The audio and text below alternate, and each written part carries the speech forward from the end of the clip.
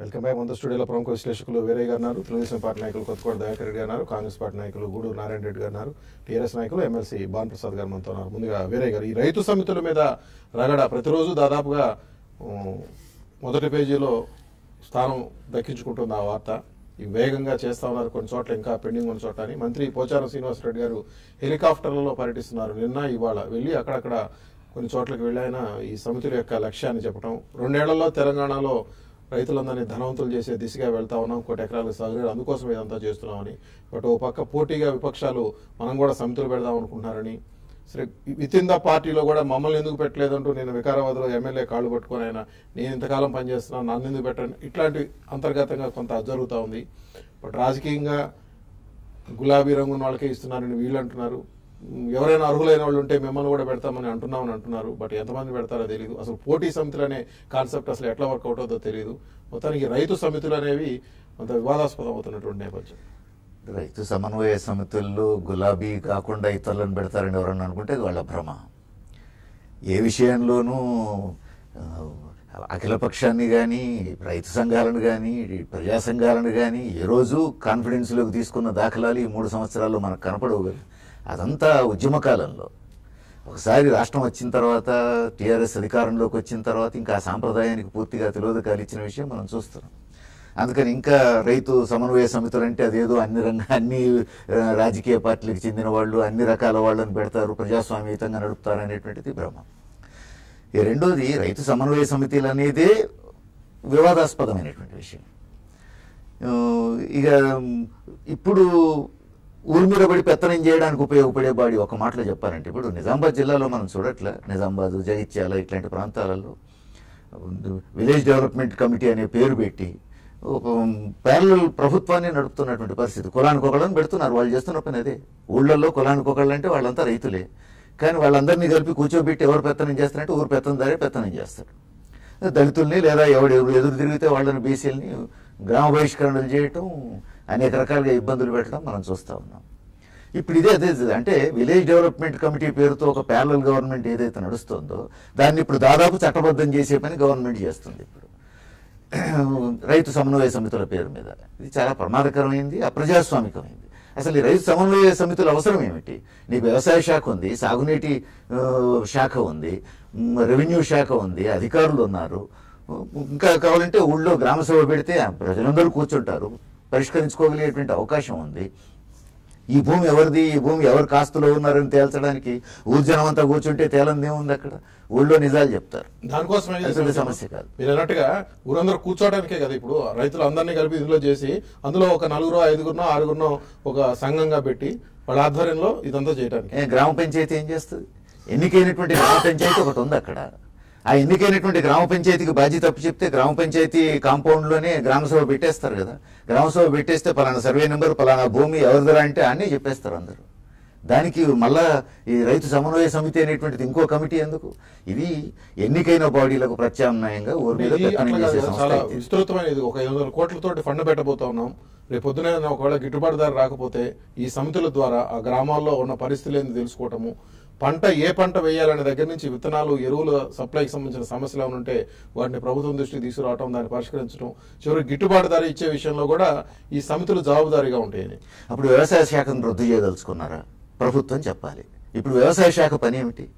ఈ పనులన్నీ రైతు సమన్వయ సమితులు చేసిన తర్వాత ఇంకా వ్యవసాయ శాఖ ఎందుకు? గ్రామ ఆ గ్రామంలో ఉన్నటువంటి విఆర్ఓ దగ్గర నుంచి మొత్తం రెవెన్యూ శాఖ ఎందుకు? వ్యవసాయ శాఖ ఎందుకు? ఇవన్నీ రద్దు చేసి మేము కొత్త సెటప్ చేస్తున్నాం అందులో రైతుల యొక్క భాగస్వామ్యం సక్రమంగా లేదా అనేటువంటి ఒక ప్రశ్నలోంచి ఇది ఏమైనా పుట్టింది అనుకోవచ్చు అట్లా అనుకోకూడదా? అసలు రైతుల భాగస్వామ్యం ఏమిటి? రైతుల భాగస్వామ్యం చేయాలి అని అంటే గ్రామ రైతులందరినీ కూర్చోబెట్టి గ్రామ పంచాయతీని మాట్లాడమంటే మాట్లాడతారు కదా వాళ్ళకి ఎంత పని ఇప్పుడు ఇదే కదా ఇది రైతు సమితి అంటే గ్రామ రైతులందరూ. కలిపి కదా? కులానికి ఒకళ్ళని పెట్టి పంచుకునే కార్యక్రమం కదా ఇది. ఇది గ్రామ సభ ఎట్లయితుంది? ఇది గ్రామ సభ కాదు. ఇది కులానికి ఒకళ్ళని పెట్టి పెత్తందారి చేతుల్లో డబ్బు పెట్టి పంచుకునే కార్యక్రమం. అంతకంటే ఇంకోటి కాదు ఇది. దానికి అదనంగా జరగబోయేది ఏంటంటే ఇప్పుడు విలేజ్ డెవలప్మెంట్ కమిటీలు ఏం చేస్తున్నాయో మనం చూస్తున్నాం. అలాంటి పెత్తనాలన్నీ వస్తాయి ఇప్పుడు. అందుకని నీకు ప్రభుత్వ రైతుల శాఖలు మీద ఉన్నాయి. పెత్తనం కోసమే ఈ సముద్రం అంతే అంతే. ప్రభుత్వ శాఖల్ని పక్కన పెట్టి ఎన్నికైన బాడీస్ని పక్కన పెట్టి ఇప్పుడున్నటువంటి ప్రజా సంఘాలని పార్టీలను పక్కకు పెట్టి ఓ కొత్తగా రైతు సమన్వయ సమితి అనేది తేవడంలోనే దాని అంతరార్థం ఏందనేది ఈ రోజు ప్రశ్న అసలు అవసరమే లేదనేది వేరేగా చెప్పి ఇప్పుడున్న వ్యవస్థలు ఉన్నాయి ఆ వ్యవస్థలతో పనిచేయించాలని చెప్పని. నేను చెప్పినంత పూర్తిగా ఏకీ- ఏకీభవిస్తున్నా. తెలంగాణ రాష్ట్ర సమితి వచ్చిన తర్వాత ఇటువంటి ప్రకటనలు చాలా చూసినాం ఎక్కడ అయిపోయినా మనం చూసినాం. ఇవాళ గ్రామాల్లో ఒక ప్యారల్ వ్యవస్థను పెట్టుకొని తమ సైన్యాన్ని పెట్టుకునేటువంటి ఒక ఆలోచన. పార్టీ పరంగా ఎట్లా చేత కదనేది తెలిసిపోయింది. పార్టీ పరమైన కమిటీలు కానీ జిల్లా కమిటీలు ప్రతి పార్టీకి ఉండేటివి అవి. దాంట్లో ఫెయిల్ అయినారు వాళ్ళు. అది చేసుకోలేని పరిస్థితిలో ఏం చేయాలంటే దోషిపెట్టడానికి ఈ రకంగా వాళ్ళ క్యాడర్ని తీసుకొచ్చి దాంట్లో సమన్వయ సమితి అనే పేరుతో అక్కడ వేసుకోవడం వేతనం చెలాయించేటువంటిది దానికి ఇచ్చే మార్గదర్శకాలు మీరు చూస్తే వాళ్ళ- వాళ్ళ యొక్క విధులు మీరు చూడండి. ట్రాక్టర్లు వాళ్ళు ఇప్పిస్తారట. పనిముట్లు వాళ్ళు ఇప్పిస్తారట రైతులకు ఏం పంట వేసుకోవాలో వాళ్ళు చెప్తారంట. వాళ్ళ అక్కడ అక్కడ అది ఎవరు చెప్పాలా? ఆ గ్రామస్తులందరూ గ్రామ పంచాయతీ ఆధ్వర్యంలోనూ ఒక అధికారి వచ్చి కూర్చోబెట్టినప్పుడు ప్రజలను రైతులను ఆ రైతులందరూ కలిసి ఈయనైతే బెటర్ సలహాలు ఇవ్వగలరు ఈయనైతే సేద్యంలో అనుభవం ఉంది అనేటువంటి చెప్పగలగాలి. అదేమి ఇక్కడ లేదు. ఎమ్మెల్యే ఇంటికాడ కూర్చుంటాడంట. ఎమ్మెల్యే రాస్తాడు. ఆ ఎమ్మెల్యేకి అసలు సేద్యం వచ్చా లేదా నాగలు పట్టుకోవడం వచ్చా లేదా తెలియదు ఆయన రాస్తే కలెక్టర్ పంపించాలట ఇది వీళ్ళు పెట్టినటువంటిది. తమ సొంత సైన్యాన్ని తయారు చేసుకోవడానికి గ్రామాల్లో పెత్తనం పెత్తనం చెలాయించుకొని ఆ రకంగా ప్రజాధనాన్ని ప్రజాధనాన్ని తమ పార్టీకి ఉపయోగించుకునే కార్యక్రమానికి తెరదీసినారు. ఇది అందరూ వ్యతిరేకించాల్సిందే. రైతు కమిటీ రైతులకు వచ్చేటువంటి లబ్ధిని ఇచ్చే దాంట్లో ఎవరు వెనుకడ చేయడం లేదు. మీకు సహకార సంఘాలు ఉన్నాయి ప్రక్షాళన చేయండి ఏమైనా ఇబ్బంది ఉంటుంది దాంట్లో. గ్రామ పంచాయతీలు ఉన్నాయి ఇంకా ఇరవై ఏడు విధులు వాళ్ళకి బదలాయించాల్సి ఉంది. బదలాయించాలా లేకుంటే కేంద్ర ప్రభుత్వంతో మాట్లాడి కావాల్సిన వాటిని ఎదుర్కొని దాని మీద టైటన్ చేయాలా? దాన్ని చూడండి. అది ఒక టెన్త్ క్వాలిఫికేషన్ ఇప్పుడు పెట్టినారు. సర్పంచ్ కావాలంటే. దీనికి ఒక క్వాలిఫికేషన్ కూడా లేదు. చదువు వస్తే రాదా కూడా తెలియదు చదువు రాని రైతు కూడా ఖచ్చితంగా ఆ భూసారం విషయంలో కానీ ఒక అనుభవం ఉన్నటువంటి అనుభవజ్ఞులు ఉన్నారు. గతంలో వాళ్ళు. ఈ కొత్తగా వచ్చిన వాళ్ళకి అంత అనుభవం ఉంటుంది నేను అనుకోను. ఏమి? అది నేర్చుకోవాల్సినటువంటి అవసరం ఉంది. వాటి కోసం ఉన్నట్టు వ్యవసాయ సంఘాల ఎందుకు ప్రతిపక్షాలని భయపడిపోతున్నాయా ఈ రైతు సమితిలో వచ్చి అసంఘటితంగా ఉన్నారు రైతులందరినీ కూడా సంఘటిత పరిచి. వాళ్ళకి ఏం కావాలో వాళ్ళే శక్తిని అనేది- వాళ్ళకి ఇద్దామని ప్రభుత్వం ఉంటుంది భయపడితే అది ప్రతిపక్షమే కాదు. భయం అన్నది ఉన్నటువంటి ముఖ్యమంత్రి గారు తెలంగాణ రాష్ట్ర ప్రభుత్వం అధికారం కోసం చేస్తున్న తపన ఇది అనేది మేము చెప్పదలుచుకున్నాం రైతులకు చేయడానికి నువ్వు సలహాలు అడిగితే వంద రకాలుగా ఉన్నాయి నీ పార్టీకి మేలు చేసుకోవడానికి చేసేటువంటి ప్రయత్నం క్లియర్ కనబడదు. అవును నా ఇష్టం వచ్చిన రాస్తాను ఎమ్మెల్యే ఓపెన్ చెప్తాను నీకు రికార్డెడ్ కావాలంటే ఇస్తా. మా ఇష్టం వచ్చిన నామినేట్ చేస్తాం. అగ్రికల్చర్ ఆఫీసర్ పిలిచి కూర్చో ఇంట్లో. నేను చెప్పి లిస్ట్ ఇస్తున్నా సంతకం పెట్టి పంపి. చెప్పు నీకు వీడియో కావాలంటే ఇస్తా.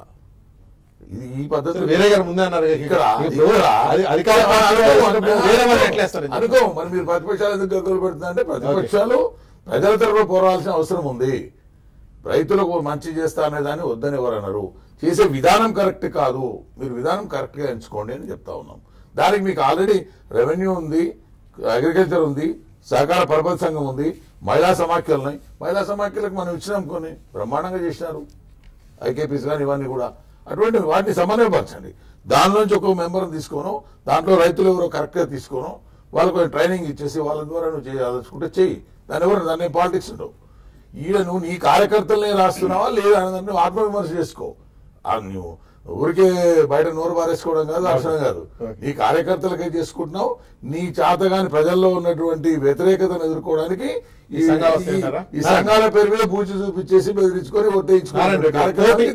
పోటీగా సమితులు ఏర్పాటు చేద్దామని అంటున్నారు కాంగ్రెస్ పార్టీ ఎందుకంటే ఈ రైతులందరూ కూడా ఇప్పుడు ఈ సమితుల్లో చేరితే రేపు ఈ సమితుల నేతృత్వంలోనే ఇంకా ఏం జరగాలన్నా కూడా జరుగుతుంది కాబట్టి ఇక రైతులందరూ కూడా టీఆర్ఎస్ వైపు మళ్ళక తప్పని పరిస్థితి వస్తుంది. ఇది మనకి చాలా పెద్ద ఇబ్బంది వస్తుంది. ఇటువంటి ఒక అదే వాళ్ళ ఆలోచన గుదిపడే కాలం వస్తుంది. ముఖ్యమంత్రి కేసీఆర్ గారు రైతుల పట్ల ముసలి కన్నీరు కారుస్తున్నారు. ఈ రోజు తెలంగాణ రాష్ట్రంలో మూడు వేల ఐదు వందల మంది రైతులు చనిపోతే ఇంతవరకు దాకా వాళ్ళకు ఆర్థిక సాయం కానీ లేక వాళ్ళ చనిపోయిన కుటుంబాల్లో ఏ ఒక్కరికైనా ఒక ఉద్యోగం కల్పించిన పరిస్థితి కానీ ఈ రోజు లేదు ఈ రోజు. ఈ రోజు కేసీఆర్ గారు స్థానిక సంస్థలను నిర్వీర్యం చేసే విధంగా ఈ రైతు ఈ సమన్వయ సమితులను ఏర్పాటు చేయాలనే ఒక ఒక ఆలోచనతో ఎందుకు వచ్చారంటే గతంలో ఐ మీన్ సమైక్య ఆంధ్రప్రదేశ్లో ఎప్పుడైతే తెలుగుదేశం ప్రభు చంద్రబాబు నాయుడు గారి ప్రభుత్వంలో పచ్చ చొక్కాల వాళ్ళకు పనికి ఆహార పథకం మీద ఏ విధంగా అయితే ఆ రోజు అభివృద్ధి జరిగిందో అదేవిధంగా ప్రజలతో ఎన్నుకోబడ్డ ఎమ్మెల్యే రైతులని నామినేట్ చేసే అర్హత ఆయనకి ఎక్కడికి వచ్చింది మీరు పచ్చ చొక్కాల పనికాహార బియ్యం నుంచి డైరెక్ట్గా ఇక్కడికి వచ్చారు మధ్యలో ఆదర్శ రైతులు మర్చిపోతే ఎట్లా మీరు ఆదర్శ రైతులు ఎప్పుడు ఆదర్శ రైతులు డబ్బులు ఇచ్చి వెయ్యి రూపాయలు ఇచ్చిన ఆదర్శ రైతులు మర్చిపోయి మీరు మాట్లాడితే అది కూడా మాట్లాడితే బాగుంటుంది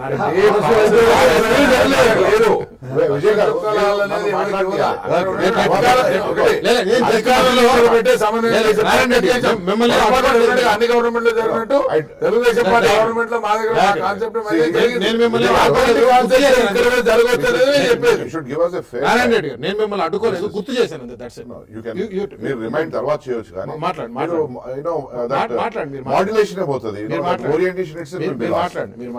ఈరోజు రైతు సమన్వయ సమితులను ఎమ్మెల్యే గారు నామినేట్ చేసే అర్హత ఆయన ఆ ప్రజలతోనే ఆయన ఎన్నుకోబడిన వ్యక్తి ఆయనకు నామినేట్ చేసే అర్హత ఆయనకి ఇక్కడికి వచ్చింది. ప్రభుత్వానికి ఉంటది. ఆయన only is a lawmaker it is he has no authority to nominate ప్రభుత్వం ద్వారా రావాలి ఇప్పుడు కానీ ప్రభుత్వమే చేస్తున్నది. No, ప్రభుత్వం ద్వారా రావాలి. మీ క్లారిఫై అందుకే నారాయణ రెడ్డి నేను మధ్యలో మిమ్మల్ని అడగడం కాదు. మీ క్లారిటీ ఇస్తాను. మీరు అన్నట్టుగా ఎమ్మెల్యేల పాత్ర ఎంత ఉంది? ఫైనల్గా కలెక్టర్ గారు పంపిస్తున్నారు. నేను చెప్పేది అన్నమాట గవర్నమెంట్ ఆర్డర్ ఇస్తా ఉంది ఇప్పుడు. కొత్తగా ఈ మధ్య ఒక నాలుగైదు రోజుల కోసం వచ్చినట్టే ప్రభుత్వం ఉత్తర్వులు ఇస్తుంది. ప్రభుత్వ కళ్ళు తెరిపించిన కాంగ్రెస్ పార్టీ కానీ ప్రతిపక్ష పార్టీలు కానీ ప్రభుత్వానికి కళ్ళు తెరిపించారు. అప్పటి వరకు నిద్రపోతున్న ప్రభుత్వము వాళ్ళు ఏమనుకున్నారంటే ఆయా ప్రాంతంలో ఉన్న ఎమ్మెల్యే గారు ఆ- ఆ జిల్లా ఇన్ఛార్జ్ మంత్రికి కానీ ఆ జిల్లా మంత్రికి కానీ చేస్తే ఆయన ఆర్డర్ అధికారులతో పాస్ చేయిస్తాడు అనేది ఈ సబ్జెక్ట్ మనం ఆయన మాటలు ముఖ్యమంత్రి గారు మాట్లాడింది విన్నాం. సో ఇక్కడ ఇది నథింగ్ బట్ రబీ ఖరీఫ్కు ఎకరానికి నాలుగు ఎనిమిది వేల రూపాయలు direct it is nothing but driving the people who are working for that party ఇంకొకటి ఏంటంటే వాళ్ళ వైపు రేపు రాబోయే ఎలక్షన్ వరకు రెడీ కావాలి. మరి ఈ మూడున్నర సంవత్సరాలు ఎందుకు చేయలేదు మీరు? ఇప్పుడే ఎందుకు లాస్ట్ వన్ అండ్ హాఫ్ ఇయర్లో మీరు చేస్తున్నారు? రైతుల కోసం మీరే సంకు- సంక్షేమము రైతుల సంక్షేమం కానీ ఇంకేదైనా కానీ మీరే చేయగలుగుతారా? ఇక్కడ రెండు సమితులు ముందే పెట్టుండాల్సిందేనా? మీ అభిప్రాయం నాకు అర్థం కాలేదు. ఒకవేళ రైతు సంక్షేమం కోసం మీరు ఆలోచించేది ఉంటే వేరే గారు కానీ దయాకర్ రెడ్డి గారు అసలు ఇది అవసరం లేదనే కోణంలో మాట్లాడారు. వేరే. చేయాలనుకుంటే బట్ ఈ రోజు చేయడం అనేది ఇది చాలా దౌర్భాగ్యకరమైనది. లోకల్ బాడీస్ని నిర్వీర్యం చేసేదే. అండ్ మోర్ ఓవర్ వీరే గారు చెప్పినట్టు ప్యారలల్ గవర్నెన్స్ ఎట్లయితే కొన్ని గ్రామాల్లో విలేజ్ డెవలప్మెంట్ కమిటీ ద్వారా జరుగుతున్నదో ఈ రైతు సమన్వయ సమితుల ద్వారా అక్కడ గ్రామ సభ పెట్టకుండా అక్కడ ప్రతి అన్ని పార్టీలను సమన్వయపరచకుండా అఖిలపక్షంతో ఒక డిస్కషన్ చేయకుండా ఏకపక్షంగా ఈ విధంగా చేయడం మాత్రం ఇది సముచితం కాదు. రేపు రాబోయే రోజుల్లో ఖచ్చితంగా ఆ మూడు వేల ఐదు వందల మంది రైతు ఉసురు ఈ కేసీఆర్ ప్రభుత్వానికి కానీ టీఆర్ఎస్ ప్రభుత్వానికి కానీ తగులుతుందని చెప్పి మేము భావిస్తున్నాం. మీరు ఇప్పుడు ఏమంటున్నారంటే చట్టబద్ధత చేస్తున్నారు అన్నారు. అని చట్టబద్ధత కాకుండా వీళ్ళు డిసైడ్ చేసి పంపిన వాళ్ళకే ట్రైనింగ్ స్టార్ట్ అయిపోయింది. ఎమ్మెల్యేల సిఫార్సులు ఉండొచ్చు. మీరు అన్నట్టుగా జరుగుతున్నాయని చెప్తున్నారు మీరు. కలెక్టర్ నుంచి వెళ్తుంది. ఎమ్మెల్యే సిఫారసు కూడా కాదు. ఓకే. టీఆర్ఎస్ ఎమ్మెల్యేలు తప్పితే నీకు వీడియో క్లిప్పింగ్స్ ఇస్తే. కావాలంటే. భాను ప్రసాద్ ఏంది? రైతులందరూ కూడా ఇక టీఆర్ఎస్లోనే ఉండాలి. టీఆర్ఎస్లో లేకుండా వేరే పార్టీలో గనక రైతు ఉంటే ఆ రైతుకి ఇక ట్రాక్టర్ ఉండదు లేకపోతే ఎరువులు విత్తనాలకు సంబంధించిన సబ్సిడీలు ఏమైనా వస్తే రావు. రేపు పొద్దున ఆ, రెండు పంటలకి రెండు నాలుగు వేలు డబ్బులు రావు. ఇది ఈ- పరిస్థితి ఏమైనా తీసుకురాదలుచుకుందా ప్రభుత్వం? ఈ రెండు పంటలకు రెండు నాలుగు వేలు అనేటువంటిది రాష్ట్రంలో ఉన్నటువంటి ఎనభై ఐదు లక్షల రైతులకు కూడా వస్తుంది అనేది మేము చెప్పడం జరిగింది. వీళ్ళకి ఒకరికి వాళ్ళకు ఒకరికి రాకపోవడం అనేటువంటిది లేదు. ఎనభై ఐదు లక్షల రైతులు ఉన్నారనేటువంటిది ఒక ఒక గణాంకం చెప్తుంది కాబట్టి ఆ గణాంకం ప్రకారంగా ఎనభై ఐదు లక్షల మంది రైతులకు కూడా అది రాబోతున్నది. అది ఎవరికి వీళ్ళకి వస్తుంది వీళ్ళకి రాదనేది లేదు. వీళ్ళు ఈ పార్టీ వల్ల వాళ్ళ ఆ పార్టీ వల్ల వీళ్ళు ఈ పార్టీ వల్ల అనేది చూసేది లేదు. అందరికి కూడా ప్రతి రైతు అనేటువంటి వ్యక్తికి రైతు వ్యవసాయం చేస్తున్నటువంటి ప్రతి ఒక్కరికి కూడా వస్తుంది. కాబట్టి ఆ సమస్య వీళ్ళు ఎంత గగ్గోలు పెట్టినా కూడా అది ప్రజలకు తెలుసు అది ఇది ఉన్నటువంటి. ఇక వేరే వాళ్ళు పదే పదే చెప్తున్నది ఏంటి? వ్యవసాయ శాఖ ఏం చేస్తుంది? నిజంగా వ్యవసాయ శాఖ అంత గొప్పగా పనిచేసి ఉన్నట్టయితే వ్యవసాయ శాఖ అధికారులే కనుక అంత ఇదిగా పనిచేసినట్టయితే మరి ఈ రకంగా వ్యవసాయం ఎందుకు ఉండేది? మీరు మాట్లాడలేదు. నేను మాట్లాడలేదు. దయచేసి వినండి మీరు ముగ్గురు మాట్లాడాలని సమాధానం చెప్పాల్సి. ఇక్కడ మీరు మీరు మీరు గతంలో మీరు అధికారంలో ఉన్నటువంటి సందర్భాల్లో ఒక పార్టీ పదిహేను సంవత్సరాల పార్టీ ఒక పార్టీ ముప్పై ఐదు సంవత్సరాల పాటు ఒక పార్టీ ఇంకో రెండు రెండు రాష్ట్రాల్లో అధికారంలో ఉన్నటువంటి పార్టీ ఇటువంటి పార్టీలు ఆ రాష్ట్రాల్లో ఆ రైతుల యొక్క అభివృద్ధిని చూపెట్టకుండా ఇక్కడికి వచ్చి మీరు చేసే తప్పు అనేటువంటి హక్కు మీకు? మీరు మీరు ఉన్నటువంటి మీరు పాలించిన సమయం లోపల రైతులకు నిజంగా ఇగో ఈ రకమైనటువంటి చూపెట్టగలిగాము అని మీరు చూపెట్టగలిగితే మేము చేసే విధానం తప్పకుండా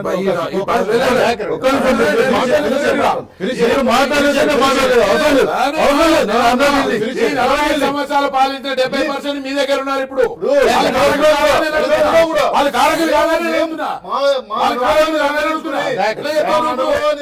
పార్టీలో. మీరు.